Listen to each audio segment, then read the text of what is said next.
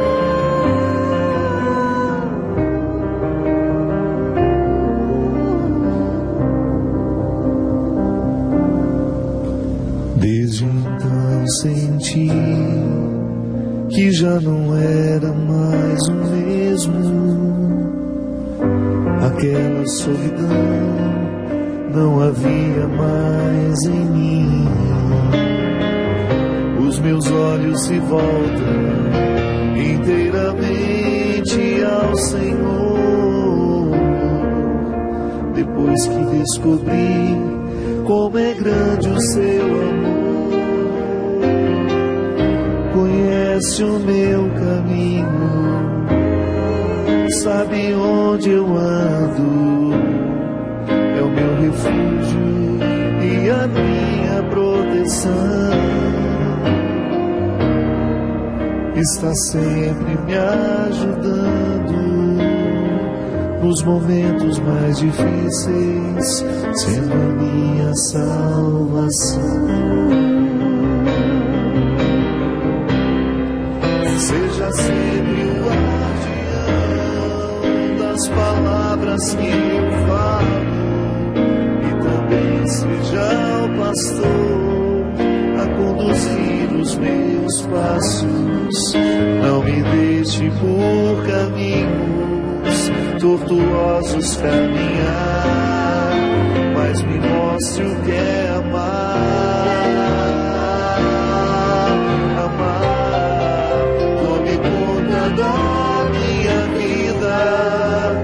ensinando-me a viver, para que eu possa, desde agora, muito mais me conhecer. Seja Meu melhor amigo, fique sempre ao meu lado, livrando-me do pecado.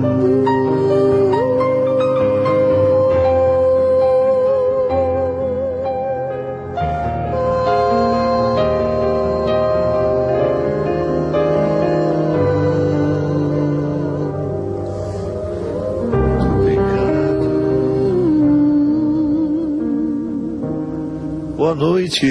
boa noite. Boa noite, Isa Fernandes. Boa noite, Christian. Boa noite, vocês que nos acompanham pelo Sistema Canção Nova de Comunicação. Nós começamos mais um programa de direção espiritual, hoje recordando que o amor de Deus na nossa vida é proteção. Aliás, é tão sofisticado compreender Deus assim como um protetor, não é?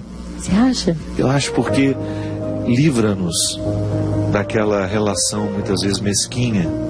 De que ele tem que nos dar tudo. É, porque a proteção, ela é um é uma atitude Humilde. que faz com que caiba dentro da mesma medida o não e o sim, Sim. né? Porque eu posso lhe O proteger guiar, né? quando lhe digo não para uma coisa que você quer muito. E eu posso também lhe proteger lhe permitindo. Sim. Então retira um pouco dessa visão ingênua de que Deus é aquele que fará tudo o que nós queremos. Não, o querer é tão à flor da pele, o necessário é mais profundo. E quando eu invoco esse Deus protetor, eu estou recordando de tudo aquilo que a pedagogia me ensinou, do poder que um educador tem na vida de uma criança, colocando inclusive limites. Sim, e muitas vezes é o que a gente não sabe pedir. Acho que quando o Senhor nos protege, quando a gente pede que Ele nos proteja, né? Eu, eu amo cantar essa música porque ela me põe no meu lugar. Então, quando eu não sei pedir, eu sou filha sendo educada ainda. E muitas vezes, diante de Deus, eu fico quietinha, não sei falar nada. Nada, nada. E eu assim, ah. E acho que esse lugar necessitado de proteção, necessitado de educação de vida interior, necessitado de educação nas minhas decisões. Essa, essa pessoa necessitada que sou eu, quando sou necessitada, estou no meu lugar. Estou no meu lugar. E quando peço que Deus me proteja, Ele é grande, né? E a expressão guardião, né? É tão Seja Vinícius foi muito feliz é, ao retomar o conceito de guardião. O guardião do Uhum. Fiel. templo é aquele que era justamente o encarregado de cuidar para que o funcionamento do templo pudesse Uhum. ser mantido. Não era só o guarda, Não é só o proteger, ninguém, ninguém vai te ver, ninguém vai te Não. tocar, não. era o permitir que o Isso. templo tivesse o seu verdadeiro significado. O guardião permite que entre e também pede que saia. Perfeito, Então isso engloba, mesmo. engloba tudo O guardião é, é um, um lugar, um atributo de Deus equilibrado, que nos equilibra. Não, lógico, que ele é, é equilíbrio em graça, mas nos provoca equilíbrio, né? Porque uma coisa é o que Deus é, outra coisa é o que nós pensamos que Ele seja. E aqui, muitas vezes, mora o equívoco. Nem sempre eu fui apresentado a um Deus de verdade. Apresentado a uma máscara dele, a uma caricatura dele, a um Papai Noel, a uma, a uma, uma imagem absolutamente distorcida, que também é fruto daquele que da própria projeção de quem me contou sobre esse Sim. Deus, né? De quem me educou na fé, com simplicidade, às vezes Eu gosto daquela música. também, né? Eu gosto da, daquela música do Greco que onde ele fala, né? Ah. Quando é, quando eu senti Deus pela primeira vez. Sim. Na estrada o gosto, a caminhada, Vai só lá, o Cristian. tempo. Já tô no tom. Virá, dirá Como é que é? Na canção, na fala, na missão que se deu. o que se dá. Quando, quando as mãos tocaram outras mãos, tudo, tudo se fez. Quando os corações sentiram Deus pela primeira vez. Em cada página de uma história há muito pra se viver. Quando a rosa na nossa memória começar a florescer. nós seremos sempre jovens ao entardecer, entregando a flor da vida para outro ser. Cantarei,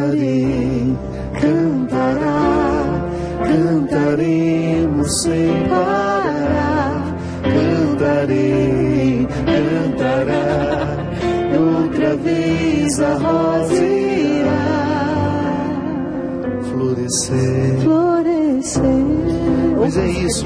Quando a gente é colocado diante de Deus pela primeira vez, eu não sei quando é que eu fui colocado diante desse Deus verdadeiro que hoje eu tenho consciência ser o Deus de Jesus. Porque eu também já esbarrei em Deus, em uma, em uma imagem de Deus que não correspondia àquilo que Jesus me ofereceu. Há uma expressão tão bonita na teologia que é Jesus é a hermenêutica do Pai. Me explica o que, que é. Hermenêutica é a ciência da interpretação. Uhum. Hermes, né, o deus grego, que conta o segredo do Olimpo, que faz a interpretação do segredo do Olimpo àqueles que estão no mundo. Então a hermenêutica é a ciência em que nós nos debruçamos para interpretar bem um texto. Quais são os recursos que eu preciso ter Uhum. para interpretar corretamente um texto? As regras da hermenêutica são muito simples, nós aplicamos no dia a dia, mas quando eu digo que Jesus é a hermenêutica do Pai, eu estou justamente dizendo que se eu quiser entender o Pai, Eu tenho que eu tenho que passar pelo, pelo Cristo, né? Estar com Ele. Eu tenho que estar com Ele, eu tenho que entender quem Ele é. E quando eu digo para você que esse Deus guardião, para mim me foi mostrado através do Deus que está manifestado em Jesus, ele me retira todos os outros equívocos, Isa. Eu tenho tanto medo, sabe, de, de ser um padre sem ter purificado os excessos daquilo que me foi oferecido. E tenho medo de reproduzir isso para as outras pessoas. Porque a partir do momento que eu fui estragado do ponto de vista religioso, a partir do momento que eu tive, que eu fui apresentado a um Deus cruel, a um Deus carrasco, eu tenho uma tendência muito grande a fazer isso com você também. Sim. E eu, como padre, eu preciso ter o cuidado. Por isso que eu não posso me cansar de conhecer o Cristo, de conhecer Jesus, de mergulhar no mistério das suas histórias, Dá da uma sua sensação palavra. de ser descascado aos poucos. Sabe assim, é, é como se estar cada vez mais perto de Jesus é, e experimentar essa explicação de Deus em forma de amor e de pessoa simplifica a gente, alivia a gente. E, pelo menos a minha, minha sensação é de que eu vou tirando cascas que não me pertencem no passar dos anos e vou ficando mais livre quanto mais perto estou dele, quanto mais, principalmente, deixo que ele me olhe, porque eu não consigo, eu não sei, eu sou pequena demais. Eu não sei chegar perto de Jesus. Acho que quando eu tenho experiências de graça de Deus mesmo, da presença de Jesus, é Ele que chega até mim e fala: vem cá, vem cá, vem cá. E é isso mesmo, é graça.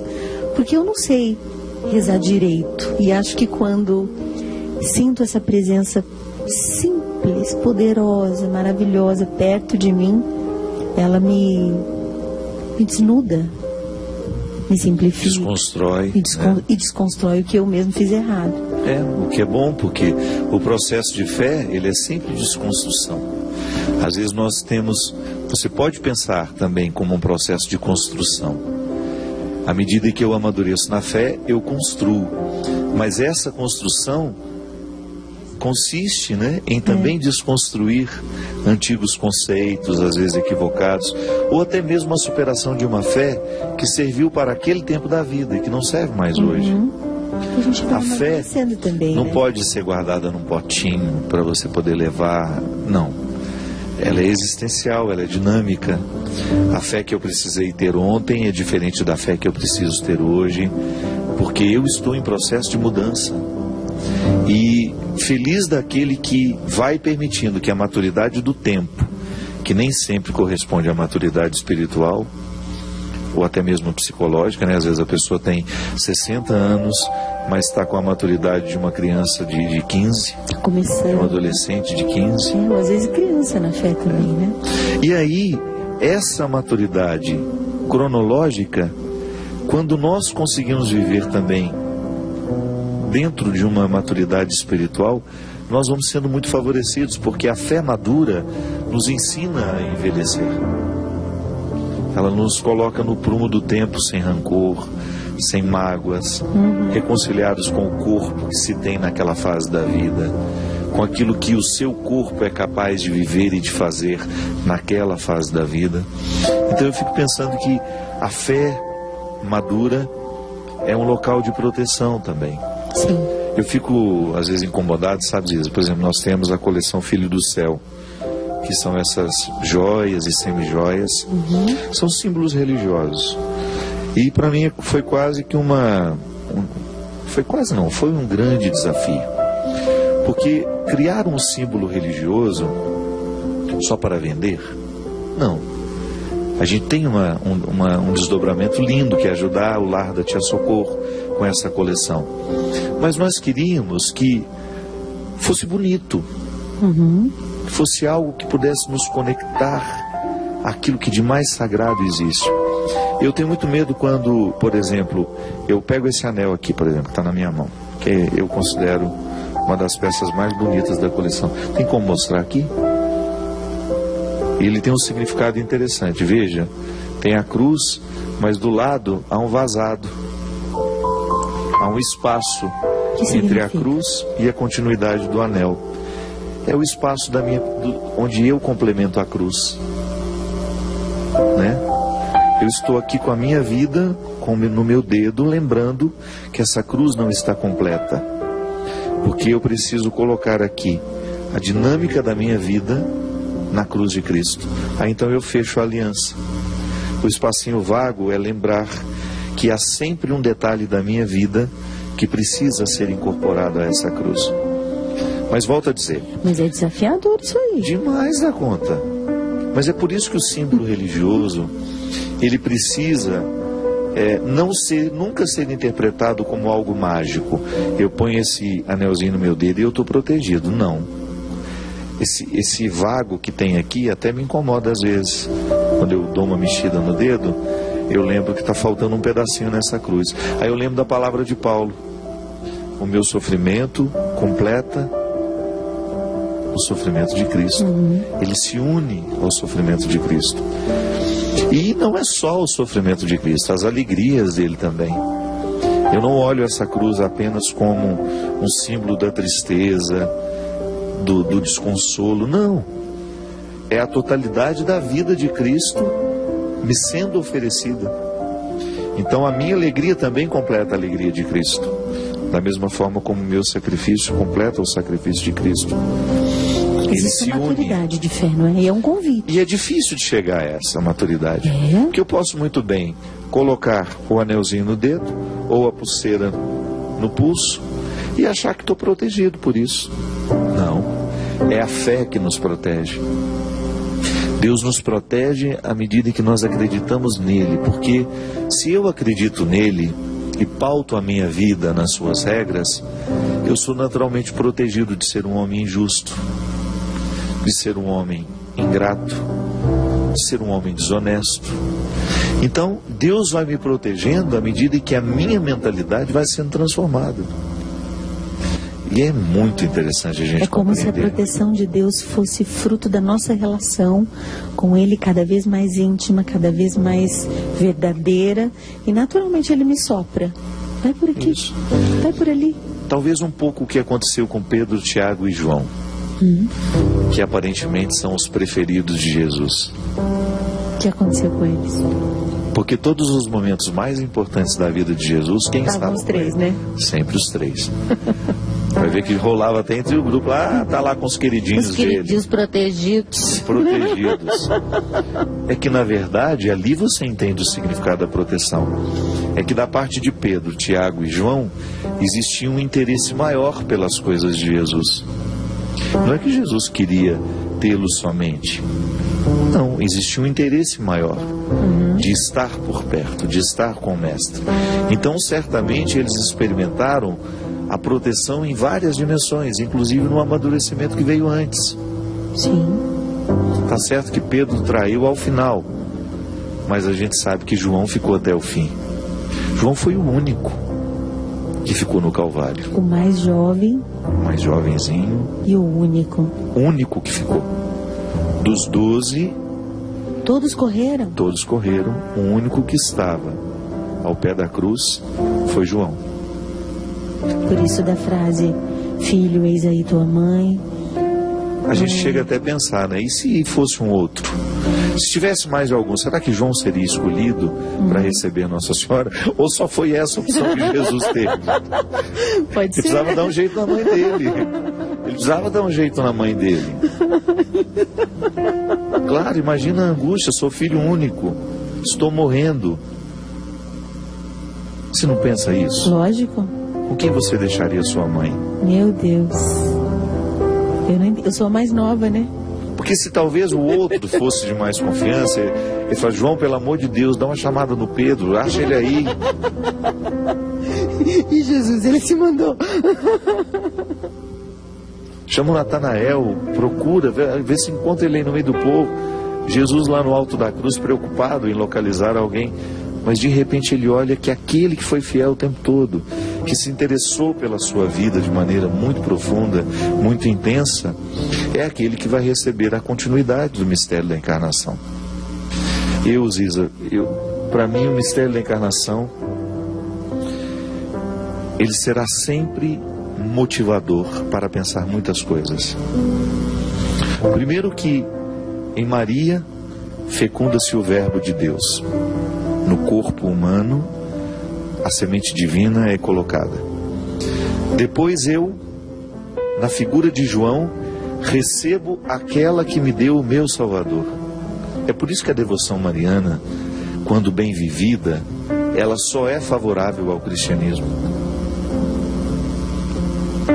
Quando você não, quando você não enxerga em Nossa Senhora uma deusa, quando você enxerga nela a mulher escolhida, a, a nossa mãe, a mãe de Deus, escolhida. a silenciosa. Ah. Que proteção tem nisso também, meu Deus?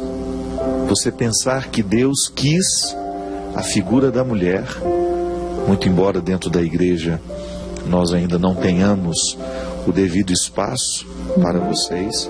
Eu, particularmente, acho que nós temos que avançar muito como igreja. Mas pensar que Nossa Senhora é essa mulher que, no momento final da vida do filho, vive o mistério da encarnação de outra forma. Agora, devolvendo ao mundo, devolvendo a Deus aquele que esteve no seu ventre, aquele que passou pela sua educação, aquele que passou pelo seu cuidado, aquele que passou pela sua proteção. E João ali recebendo essa missão de proteger a mãe do protetor. O mais novo. O mais novinho. O mais, o mais inexperiente. o mais inseguro. Sabia qual era o apelido? Né? Sabia qual era o apelido de João quando ele chegou para participar do grupo? Sabia, Christian? Filho do trovão. Imagina que temperamento bom tinha essa pessoa. Imagina como ele era fácil. Aí, do filho do trovão. Mas os de temperamento forte surpreendem. Surpreendem, demais. Surpreendem demais. O filho do trovão torna-se o discípulo amado. Olha como ele encerrou a carreira digamos, a carreira de cristão, vale, vale, discípulo amado. Vale o, o, exame de consciência, né? Como me sinto, filha do trovão ou discípulo amado? Eu sou um né? filho do trovão. Porque eu explodo com uma facilidade. Em processo, padre, em processo. Em processo. Quero ser desse discípulo amado, Você também sabe? é o filho mais novo, né, da casa. Sou mais novo. Eu também sou filha mais nova. Você também, Cristian? Eita, Lili. E três caçulas aqui. três casilhinhas. Três poços de manhas. Manhas e manhãs. É, na verdade as mães da gente foram fazendo, foram fazendo, fazendo até aperfeiçoar e fazer a gente. É boa essa, hein? Outro Minha mãe fez sete antes de Deus chegar, então por isso que eu saí tão aperfeiçoado.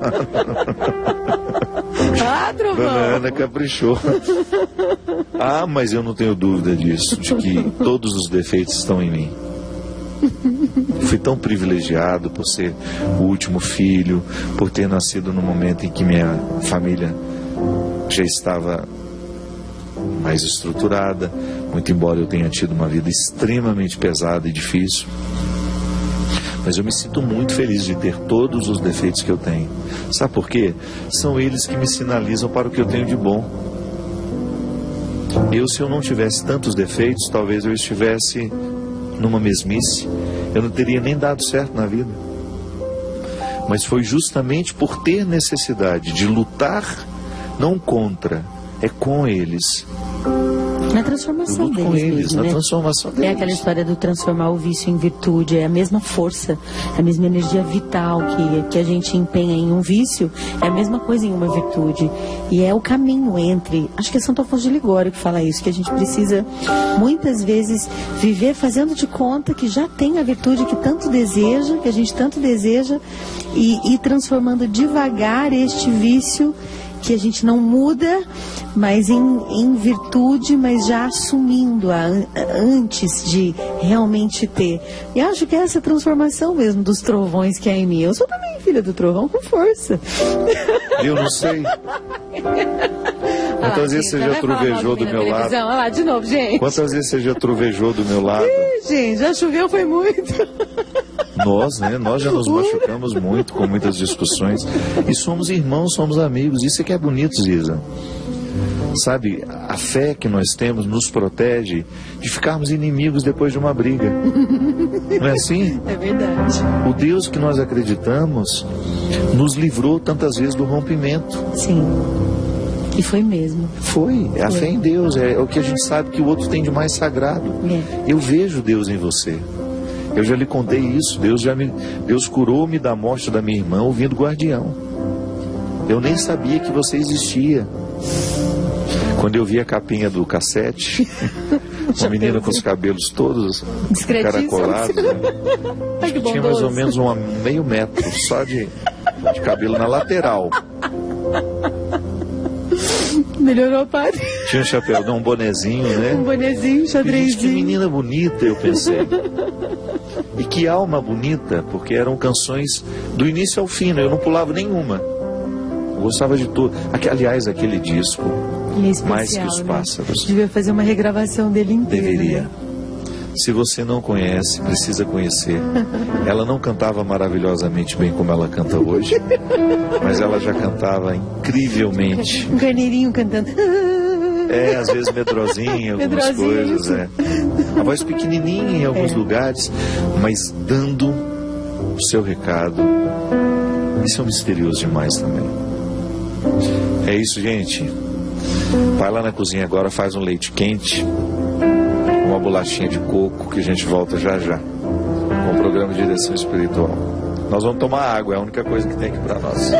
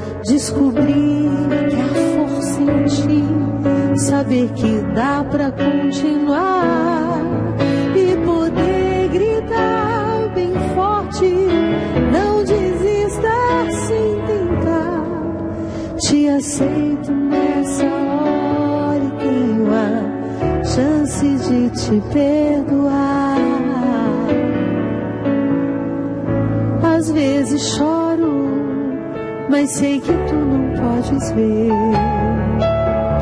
Deus é meu colo e com ele aprendo a viver. Ouço os teus segredos e dou a Deus em oração. Dou a Ti o meu respeito, toda admiração.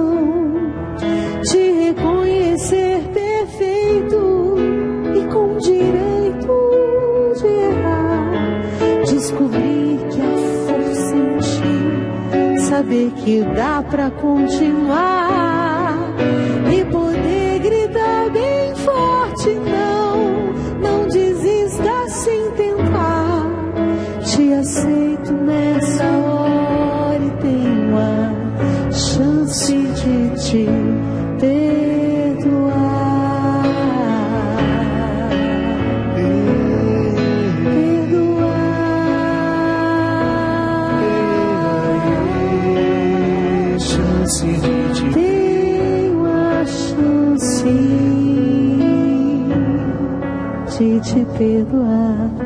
Essa música aí faz parte do disco Mais que os Pássaros.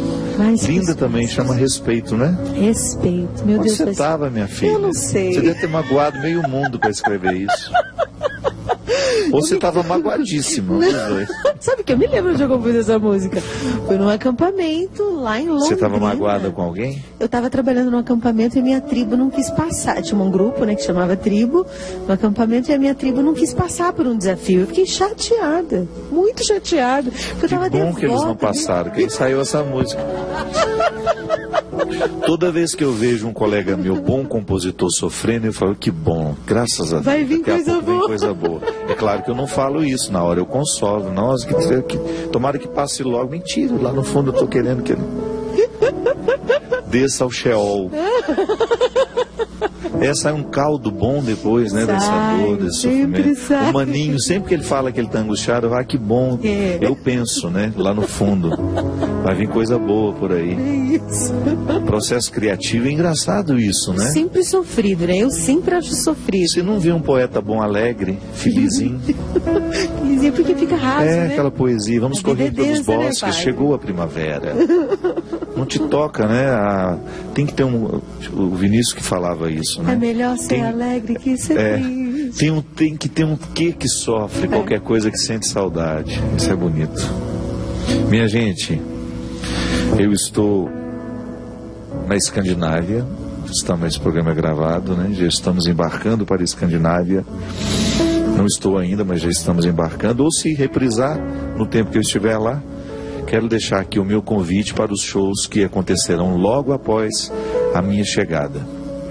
No dia 16 de setembro, nós estaremos no Recife, no Classic Hall, a partir das 21 horas. Então, povo de Recife, povo da região, dia 16 de setembro, no Classic Hall. Por favor, vá, pelo amor de Deus, para a gente poder ter uma noite muito especial. Agora essa crise está tendo que pedir pelo amor de Deus. Vá, pelo amor de Deus, eu prometo que vai ser tudo muito bonito lá. Com distribuição de brindes, É um vídeo, um vídeo convincente. Indulgências. Vá, pelo amor de Deus. até indulgências a gente, a gente distribui se for preciso. Depois, no dia 23 de setembro, nós vamos ter um show no Vivo Rio. Rio de Janeiro, a cidade toda convidada para estar conosco numa noite muito especial, que é no dia 23, no Vivo Rio, essa casa tão conhecida aí, às 21 horas e 30 minutos. No dia 24, nós retornaremos a Rio das Pedras. O ano passado a gente fez um show beneficente. Eu me lembro que foi, acho que foi para ajudar a construir um elevador que a comunidade precisava. E nós fomos tão bem recebidos, foi tão bonita a, a nossa experiência junto àquele povo, uma comunidade onde tem uma prevalência muito grande de nordestinos. Então foi um show animadíssimo, você não faz ideia. E esse ano eu passei um óleo de peroba na cara, liguei pro Dorani e falei, Dorani, deixa a gente fazer outro show lá. para ajudar alguma coisa que o senhor esteja precisando, alguma coisa que o senhor esteja querendo. E ele, com muito carinho, aceitou o nosso presente. Então, nós estaremos lá no Espaço Terraço. É mais cedo, é a partir das 19 horas, porque esse dia aqui deve ser um domingo, né? Dia 24. Então, Rio das Pedras, região, a Baixada, vamos todos comparecer aí no Espaço Terraço. Vá, pelo amor de Deus. Vá, pelo amor de Deus. Tô pedindo, gente. Nunca te pedi nada. Eu nunca te pedi nada. Vai lá no meu show. E no dia 30, nós estaremos na fresca capital Teresina, onde se frita um ovo no asfalto, com maior facilidade. Mas também o coração do povo é quente igual a temperatura do lugar.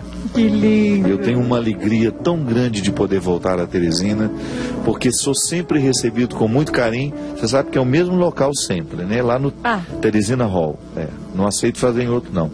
Porque é uma casa maravilhosa, uma infraestrutura com, com tudo aquilo que o povo merece. O povo fica bem acomodado, com ar-condicionado, e a gente tem condições de fazer um show com muito carinho, com muita alegria. Então, dia 30 de setembro, eu espero vocês aí do Piauí, na capital Teresina, no Teresina Hall, a partir das 21 horas. Falei aqui antes da coleção Filho do Céu, quero mostrar algumas peças, dar o site para você poder entrar. Por enquanto, as compras são só online www.filhodocéu.com.br. Vou pedir para colocar o GC. Olha, essa é uma cruz que eu gosto muito. É uma cruz mais masculina pelo tamanho, né? Então, se você quiser presentear o seu filho, seu esposo, seu irmão, seu amigo, essa é uma boa opção para você ter. Essa cruz, ela tem três, três é, modelos. Tem essa maior, tem essa que aparece aqui na pulseira, essa pulseira que é mais feminina, também, claro, pode ser usada por homem, e tem essa que eu uso, que é a que deu a origem à coleção. Deixa eu mostrar aqui, ó. Ela é uma cruz maior. Dá para ver aqui? Dá. Olha como é bonita. É bonita, Ziza? Bem bonita. Temos também a pulseira Filho do Céu. Dá uma olhada que belezinha. Inclusive, eu quero agradecer a toda a equipe da Recoder que, a partir das nossas sugestões, foi criando essas peças, que são peças muito especiais, muito bonitas. Nós estamos também agora com uma coleção mais barata, que isso aqui tudo é ou é ouro branco ou é prata. Mas nós estamos fazendo agora uma linha prata light, que eles estão chamando assim, para ficar mais acessível, com preços entre acho que 40 até 100 reais. Então, você não precisa deixar de ter um dos nossos símbolos. Nós queremos nos unir com essa simbologia. Ajudar o projeto da Tia Socorro para nós hoje tem sido uma alegria muito grande. E pode ser que você nunca tenha a oportunidade de ir lá em Mosqueiro para poder levar um pacote de alimento, um pacote de fralda, ou até mesmo ajudar financeiramente lá. E você comprando, de repente você vai ter um aniversário, que você sabe que você precisa dar um presente. Graças a Deus são de bom gosto, você não vai estar fazendo uma caridade né, somente, né? Porque é ruim quando você se oferece para as pessoas comprarem uma coisa só pela caridade, né? Ai, Dinho, o disco dele é tão ruimzinho, gente, mas vou comprar para ajudar. Deus que nos livre disso. Então, a coleção Filho do Céu, posso lhe garantir. Isso aqui é alguma das peças que eu mostrei. Se você entrar no site que está aparecendo aí agora, você vai conhecer toda a coleção e você vai ver que tem coisa muito bonita. Você gosta de símbolos, Isa? Eu gosto. Eu uso alguns que eu gosto bastante. Eu tô com a chave do carro meus... no bolso. Olha é o símbolo também, tô... não? Não, é um símbolo de falta de responsabilidade, de vir dirigindo. Não, mas hoje eu vim porque a Aziza veio do meu lado conversando comigo. Não, mas eu me ofereci para dirigir, deixo claro. Uai, Deus me livre, aí que eu vou correr ah, risco gente, mesmo. eu dirijo bem, gente. Nós vamos levar duas horas para chegar aqui. Mas eu sempre fico, gente, eu levo mico, eu pago mico nesse programa. De símbolos, eu levo o terço com a marca do tal que é lá de Assis, que eu tenho um compromisso triplo, que ele é bem, bem uhum. secreto meu, que tem um significado bem grande, esses três, e o coração de Jesus. Que lindo. Que quem é, que conseguiu para mim foi lá com o Solata, lá de Fortaleza. Muito que tem bonito. o Pai Nosso e o, Coração de Jesus, Sagrado Coração Você sabe que nós fizemos para a coleção Filho do Céu o terço, só que no braço. Eu vi, eu vi. É um é bracelete lindo, para as mulheres, é, é bem, bem bonito. Lindo, bem lindo gosto muito de usar coisas que não tenham significado para mim. Tem que ter significado, senão eu gosto. Eu gosto de sempre ter algo que me lembre, né? Mas você foi educada, por exemplo, nessa nessa teologia de que o símbolo te protege? Não, não, eu não tenho essa sensação. Eu preciso viver o exercício da memória. Mas você não foi nem educada nisso, você não precisou ah, superar isso? Sim, lógico que sim. Entendi. E principalmente a, a, a, aquela, aquela coisa de fazer contas, né? Se eu se eu fizer esse tipo de sacrifício, talvez, quem sabe Deus vai, ser, vai se compadecer e vai me achar boazinha. É um, lógico que o, que o sofrimento oferecido é um sacrifício agradável a Deus, né? Mas é diferente de eu fazer contas, né? Se eu fizer isso, Deus vai me dar aquilo. E se Ele não me der, Ele deixa de ser Deus, né? Não. Um Deus contabilista, né? Não, não ele, Deus é o Deus que diz não e diz não com força. Oh. E diz não com não força. Sei. né, Trovão?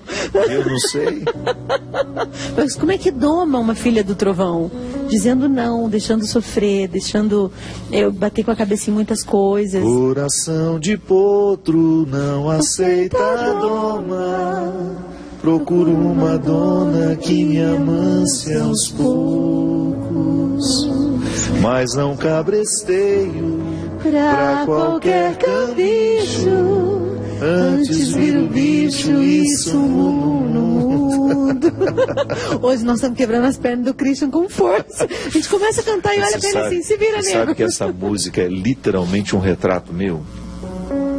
Eu canto essa música no show do É o quarteto. filho do trovão potro mesmo, pra ser Filho do- domado. eu sou o filho do trovão potro a ser domado, né? E Eu fico, eu acho interessante, Ziza, porque a própria vida está sendo a minha doma.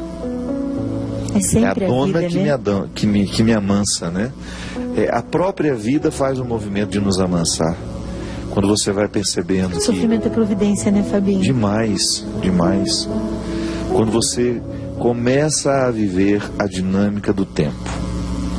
Quando você permite, você que está assistindo a gente, está ouvindo essa conversa, né? Eu espero que você esteja se incluindo, porque tudo isso fala da sua vida também. Quando nós vivemos a dinâmica do tempo, quando nós compreendemos o tempo que temos, a gente naturalmente vai ficando mais dócil.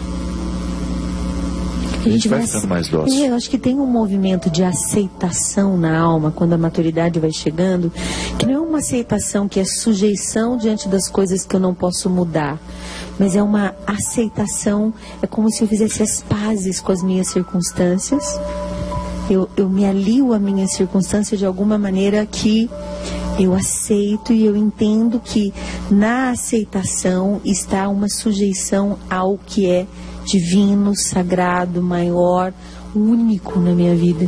Isso me ajuda tanto porque muitas pessoas, por exemplo, me perguntam como que eu consigo fazer tantas coisas ao mesmo tempo.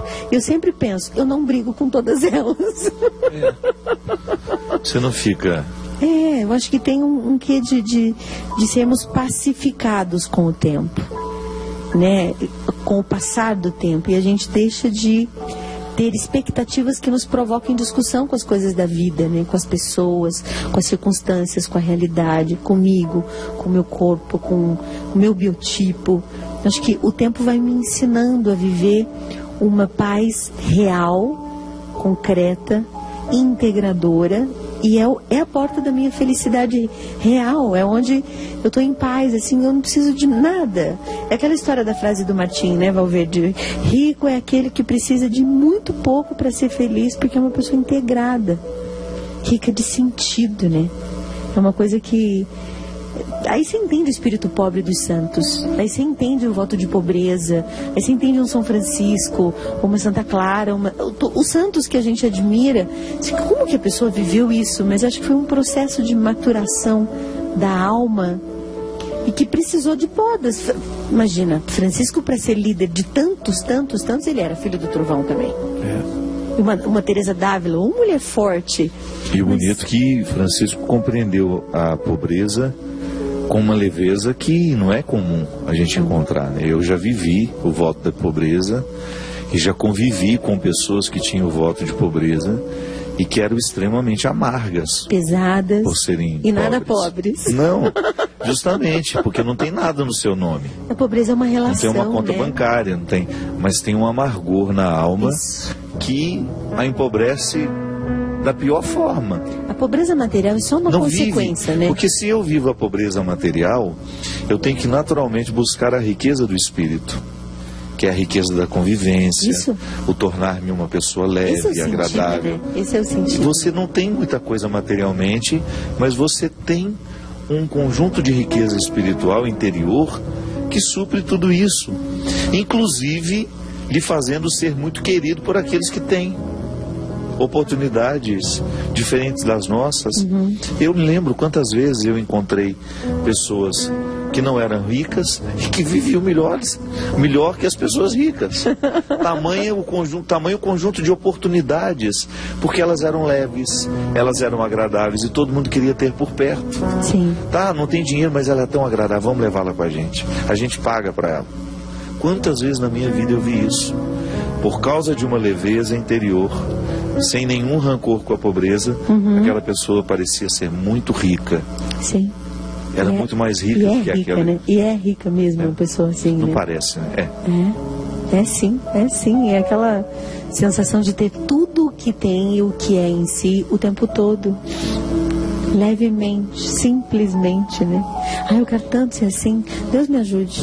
Pois é. Deus me ajude. Só pedir, continuar pedindo que ele Vamos seja o pedir, guardião né? e a gente ficar atento àquilo que ele guarda. né? Porque eu, quando estou atento ao que Deus está guardando, eu me torno um parceiro dele nessa guarda. Eu gosto muito daquela expressão que você usa, acho que é de Santa Teresa, né? Ah. De baixar a porta do castelo e de levantar a porta do castelo. Isso é ser guardião de si. É. É você ter a exata percepção daquilo que precisa ser continuado, daquilo que precisa ser aberto, mas daquilo que também precisa ser terminado e fechado. Fechado, protegido, esperado, silenciado. A gente tem direito, né? Porque às vezes a gente é educado na igreja de que o cristão ele tem que dizer sim e amém para tudo, não? O cristão forte mesmo, ele diz não. É, Você lembra que no auge do, do meu sofrimento, dessa, dessa crise que eu tenho enfrentado, você me ligou oferecendo ajuda e eu honestamente disse, Isa, eu estou num momento que ainda estou com a porta levantada. Não- estou para a- receber a- a visita ponte. ainda. É. Isso é bom. É bom você ter a consciência do que você é capaz. E você não se violentar. E também não ser obrigado a dizer sim, ser livre para dizer não, né? Não, dizer não não significa que eu não amo, Justamente. né? Aham. Ter essa, esse, esse espírito livre, amado. Lamber as feridas, né? Eu acho bonitinho, eu tenho lá as minhas crianças e eu fico vendo como elas se lambem para curar. É, é um processo que de cuidado um com o outro. Processo e no momento, a metáfora do lamber as feri- feridas, ela é muito sugestiva porque é como se eu estivesse retirando todo o processo infeccioso Dan- Dando-se tempo, dando tempo, cuidado. purgando, purgando literalmente aquilo que está excessivo em mim, aquilo que está me inflamando, aquilo que está trovejando dentro de mim e que tantas vezes me torna uma pessoa insuportável aos outros. Porque o meu uma das preocupações que eu tenho em de viver é, com muita responsabilidade a minha conversão é que eu não quero ser insuportável aos outros. Eu acho tão ruim quando me deparo com uma pessoa insuportável, com uma pessoa difícil, que a primeira coisa que me ocorre é, gente, eu não quero ser assim. Já é um bom começo, meu Já é um bom começo, não é? Já é um bom começo. A gente na viagem, a gente veio falando, né, de, às vezes de pessoas que, que erram na mão, do tanto que se expõem, da maneira como se expõem. É, é, é um sinalizador para a gente, eu não quero ser assim também. Eu quero ter o ponto de equilíbrio, eu quero saber até onde me é justo chegar, até onde é de direito ir. E é ouvir-se, né? Ouvir-se corajosamente, assim. Esses dias eu estava com o Agostinho lá em Agostinho Busato, lá em Curitiba, e ele dizia: ouça seu coração com coragem. Ele sábio, mas você precisa ouvir. Precisa ouvir. Com coragem e comprometimento com você mesma. Que nesse compromisso é a terra fértil para um compromisso com Deus verdadeiro, né? E acho que a gente só se cuida se a gente se ouve. É isso mesmo. Tem que se ouvir. Ô, minha amiga, muito obrigado pela sua presença, por me ajudar aqui a conduzir É um o programa. privilégio para mim. Nesse tempo que está mais difícil para mim. Obrigado. Lindo, eu que agradeço. Te amo muito. Volte sempre. Eu também. Essa casa é sua. Obrigada. O Christian é seu também. São os caçulinhas. Tocar as músicas que você quiser. Muito obrigada. Obrigado, meu irmão, mais uma vez. Obrigado a toda a equipe, a minha diretora, a minha produtora, os meninos dos câmeras. Muito obrigado. Semana que vem a gente certamente teremos uma reprise. Você tem a minha misericórdia desse padre que está cansado, precisando. Pelo amor de Na Deus. verdade, eu não estou indo passear, eu estou indo peregrinar, apesar da dificuldade que eu estou enfrentando no momento. Eu não achei justo cancelar a peregrinação. Estou indo com muito carinho, com muitos limites, mas também com muita disposição. Derrame sobre nós a bênção do Deus Todo-Poderoso, Ele que é Pai, Filho e Espírito Santo. Amém. Amém. Rezem por mim. Vamos cantar? Para terminar bonito? Seja sempre o guardião das palavras